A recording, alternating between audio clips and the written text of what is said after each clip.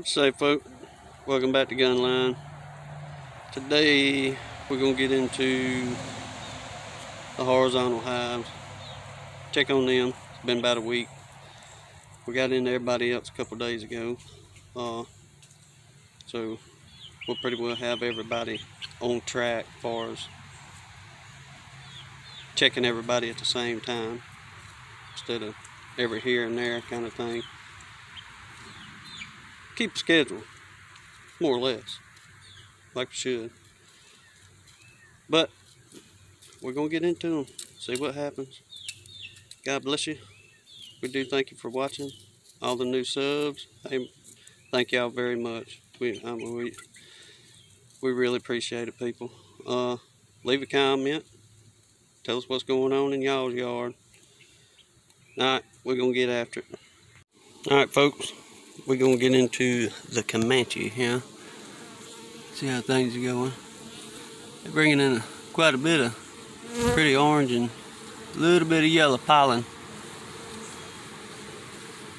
I have no idea what's blooming around here. All kind of stuff. The mimosa trees, uh, crepe myrtles, everything. It's uh, let's see, second week of June, roughly. Yeah. 2022. Before I get into them though, I gotta mix me up another batch for my beetle back here. Had to empty the last run out. Things got a little, they just needed to be changed. I'll just put it like that. Add a little soapy water. Slosh it up real good. Gets pretty bubbles. Look at that. Perfect. Alright, we're going to slap this on here. We can go. Got a little smoke just in case. Try not to use it if we ain't got to. But, uh, let me get all this plugged up, ready to go. Peppermint's ready. We'll see what it looks like. Well, let's see what's going on in here.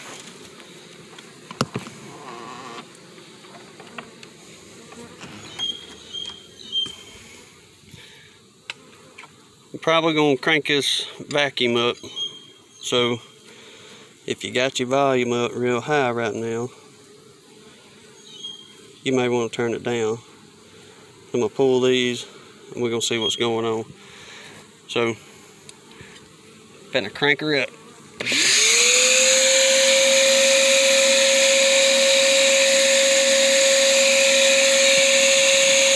Well, same one fly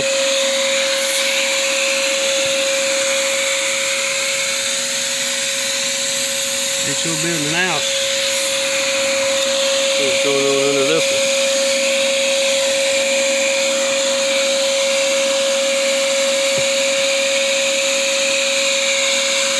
Nothing yet.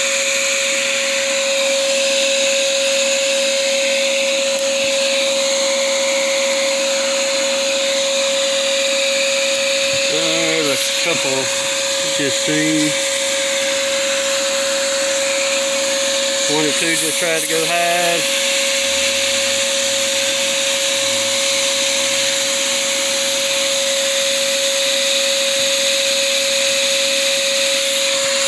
Come right there. Yep.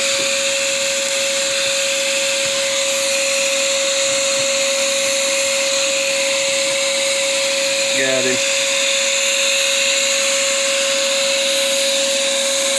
Sorry about the the camera. It's kind of hard to watch the phone and watch beetles at the same time.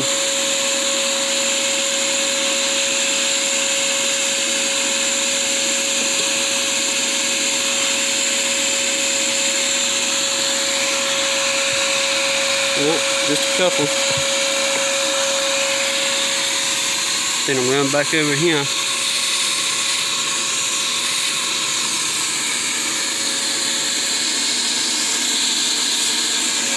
Well, that was encouraging.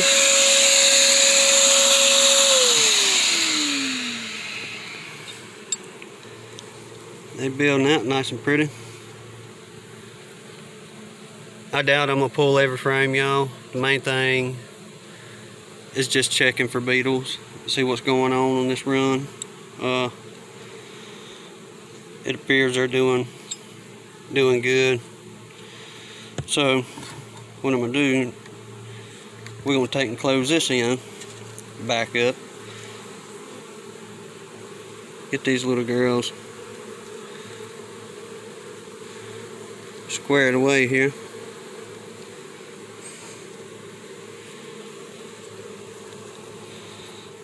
Then we'll move over to this other side. Last time we was in here, we had uh,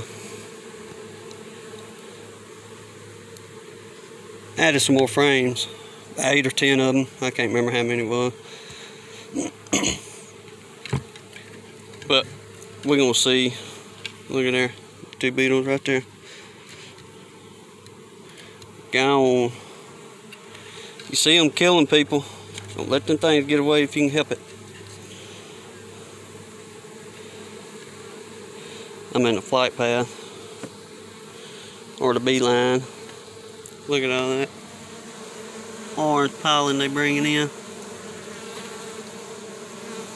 But you figure they'd see a human that's four foot 12 and 10 inches standing by the doorway and they wouldn't run into you. But but they just bumping me like crazy back here. Look at this guy trying to get away. Gone. Alright, I'm gonna crank the vacuum back up just in case. Don't know what's behind these last three little slats. So just in case there's a bunch piled up somewhere, we can, we can at least get most of them.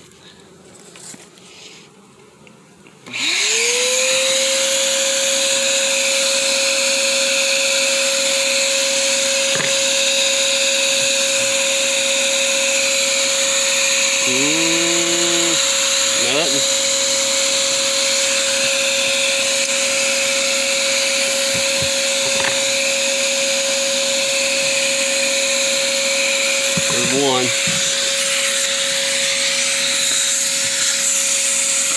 Got him.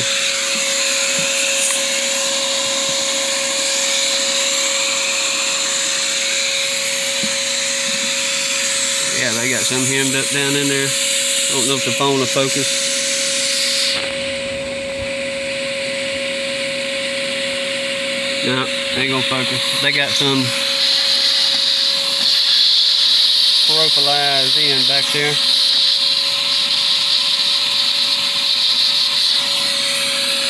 Got him. Good deal.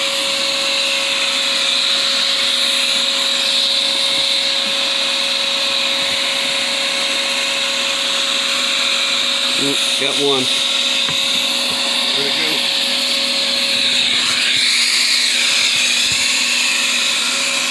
Flew off or jumped off. We'll shut that loud thing up for a few minutes. Well, they got plenty of room and they are moving back here.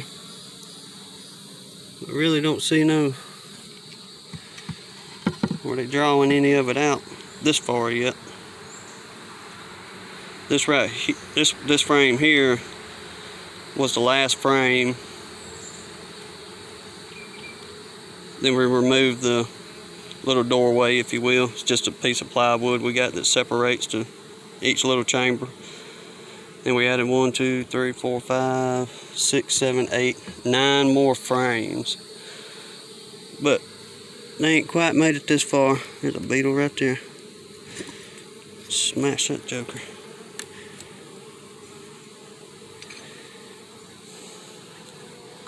There's not many things in life that I really hate. You can ask my wife. Pretty easy to get along with. But this beetle, situation can get a man fired up. There's only one other thing that I don't like dealing with, and that's the wind. We live near the coast. We're about, I don't know, two and a half, three hours, I guess, depending on how you drive, from the Gulf of Mexico. It's not the ocean, it is a gulf. Anyway, let me get off that part. Uh, we worked down there for a couple years after a bunch of hurricanes come in, tore up Gulf Shores, Fort Morgan, Alabama. So we went down there and worked for a little while. And let me tell you what, when the wind just blows and blows and blows all day long, non-stop, while you're trying to work 25 feet or higher up on a condo, it tends to get you a little aggravated after a while. So once we wrapped all that up, I said no more work over there if we can help it. Anyhow, these girls looking good. We get some peppermint ready, drop them in, and we're gonna move on to the Escataba and the Apaches. See what's going on with them girls. Y'all stand by. Okay. Got four in here. This last run. I stuck four down here on this one. All we've been doing is eight peppermints per colony. Uh, I just like to tend to stick ours on the bottom bottom board or if you got horizontal hive stick them on the bottom is what we've been doing you can stick them on the top. I don't see that being being any different, but it's just my theory is the beetles are going to be coming in through the entrance on the bottom. So why not have whatever it is you're using to combat them down on the bottom to keep them from potentially pushing up. That's the only reason we do it. Now, we did stick a bunch of extra in one, let's see, in the woods here. On maybe the last video or second to last video. But we just like doubled what we put in there. Well, it's getting so hot. Come back out the next day just to check on everybody. And I noticed a bunch of purple goo not purple, pink and white goo coming out the entrance. Well, what it was, it was so hot, all those extra peppermints were melting and they was filling up the bottom on the bottom board. So we've been sticking with eight in your big colony, whether it's just one deep, medium, and we're even doing it on old big girl over here. Where we got? The one two deeps and a medium sitting on it. Uh,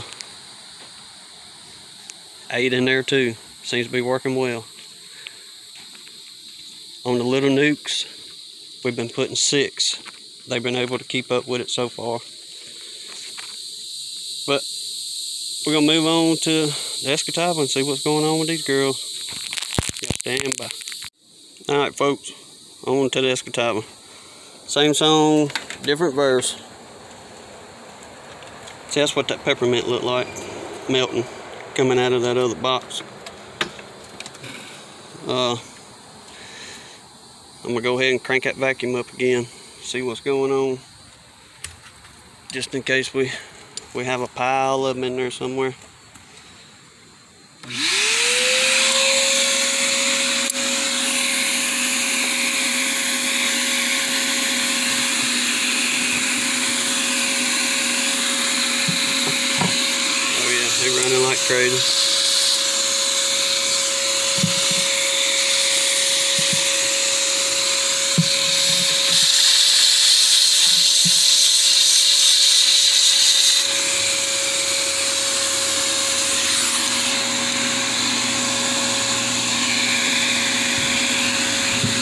This is a small little bunch here.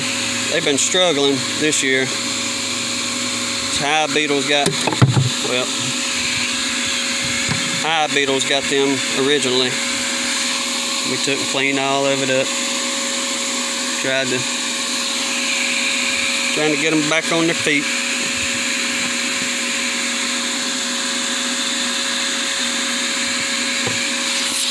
One there.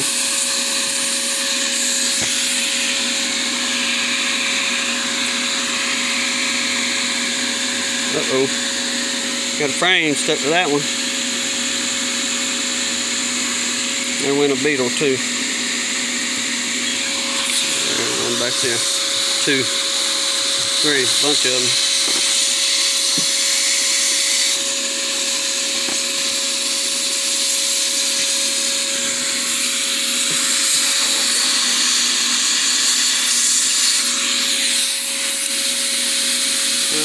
If I can get this thing off here. I may have to use both hands. Yep, y'all stand by. Okay, people. I went on and just pulled the other ones off. Everyone trying to get away there?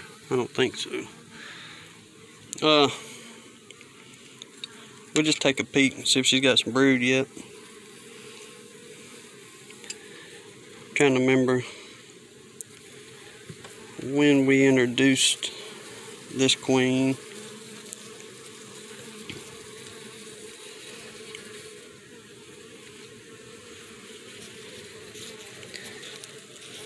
Mm -mm. Like feeling that nectar. Clean that frame up pretty good.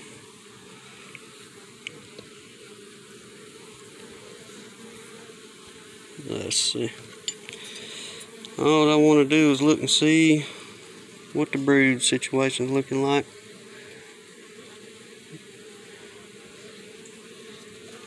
Okay, good deal. Good, good, good. I'll show you all this real quick.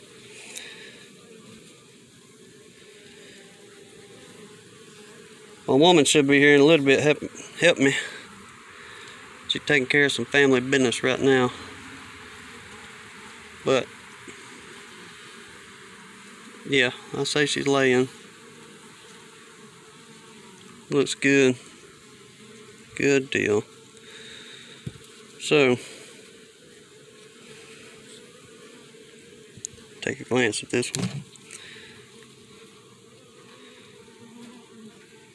Yeah, she's she's doing alright. See what's on this other side. We'll leave her alone. Oh. Excuse me, yeah.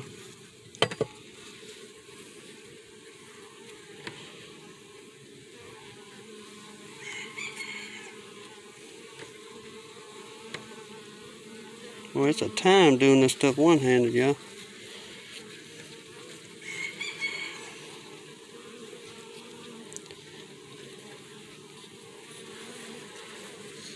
Oh. Uh, they're starting to clean that up pretty good. Filling it with nectar. You can see where I tore out there in the middle. There's some wax moth damage. Pulled all that mess out. Looks like they're trying to straighten it all up. Same thing back here.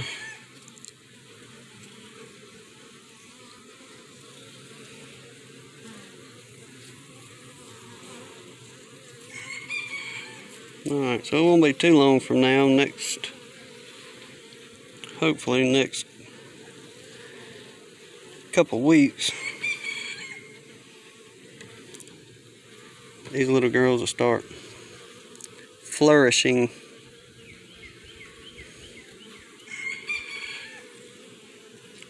And usually, let me get that joker. Sorry about that. last two years,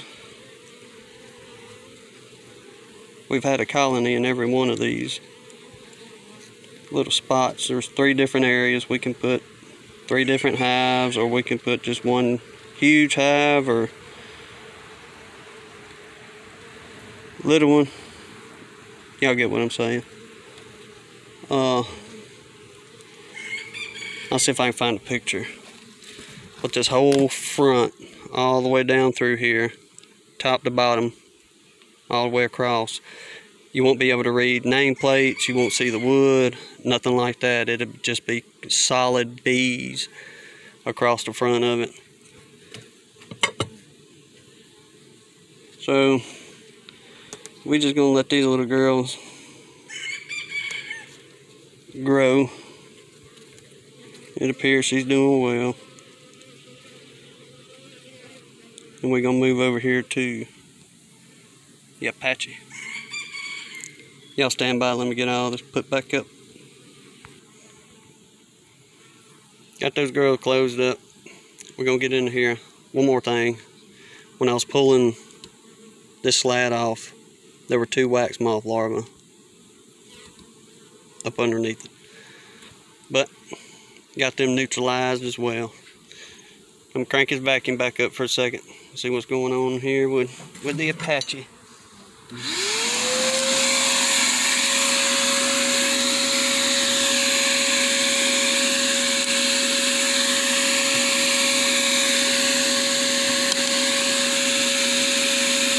Mm, not yet.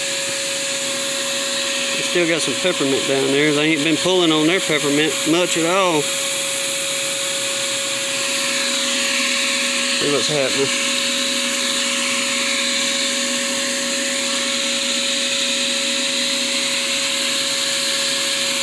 Well, they're trying to get after one right there. Wrong button. Sorry about that.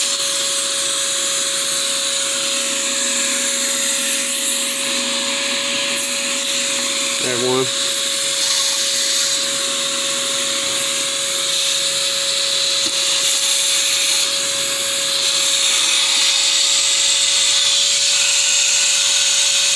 I guess I got some hemmed up back there.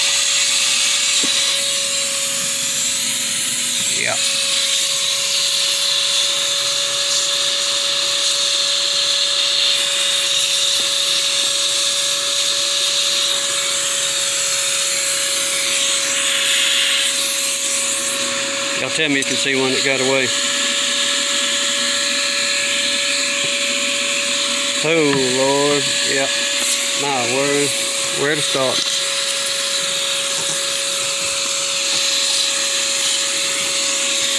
There was a bunch in that one. Shoot, sucking up bees.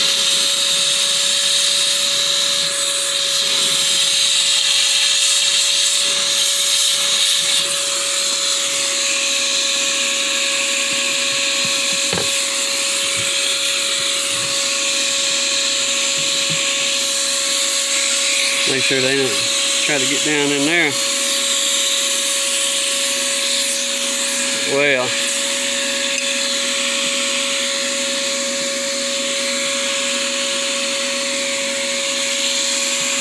Yeah, got some here.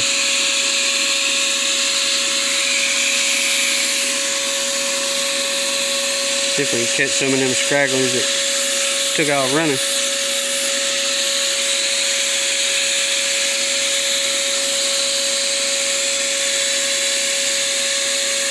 Hmm. Y'all stand by. I think pretty well got most of them. Whatever else we see, we'll try to smash with our hands or something. We'll take a look at her real quick, see how she's doing. They in there growling. Get out of here.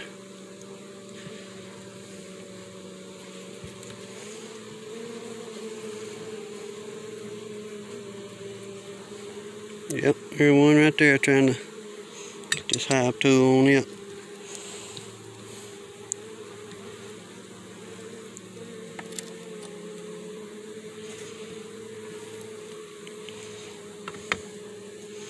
Be tough time to get them little jokers sometime now. Let's see. Drone.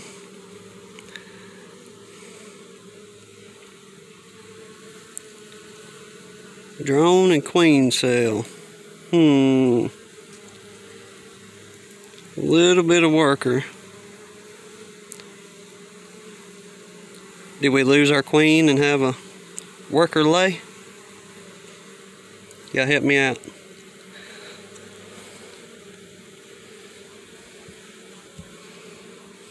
See what's going on on this one.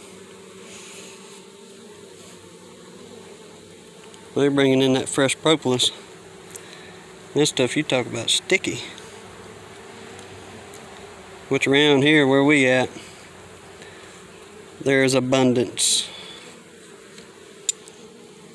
This area is full of loblolly pine, long needle pine, whatever other kind of pine there is up here. Let's see. Yeah. Lots of drone, very little, very little worker.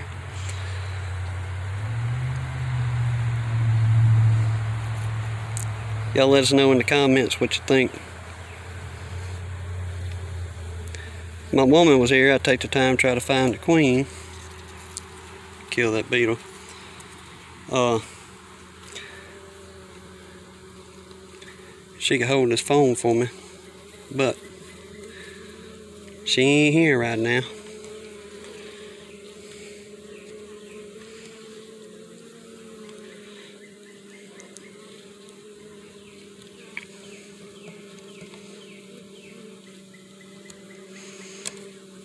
them settle in, calm down.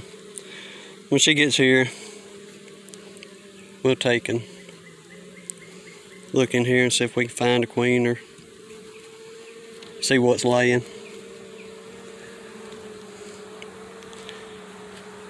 I don't know on that one, y'all. You know what's happening. Like I say, let us know. Y'all stand by, we'll get this put back together. Well, I think we're going to pretty well wrap this one up. But I got the glancing at my mess I still have back here. Me show y'all what them hive beetles does. Every bit of that is beetle. That's on the back side of the cone. So I've been scraping, and as hard as I'll get out, scrape this mess up. But when you roll it off, that's what the comb looks like. This. Scrape it from the bottom. And that's what you get when these beetles infest in your hives. They, I mean, they just completely destroy everything. The honey, the pollen, the main deal out of it, the larvae, babies. They just, they devastate them we're going to wrap it up. I do appreciate you watching Gunline. God bless you. Thank you again, people, for uh, subscribing. The new folks, thank you, thank you. Leave a comment if you up to it. We're going to call it, folks. God bless you. Y'all have a good one.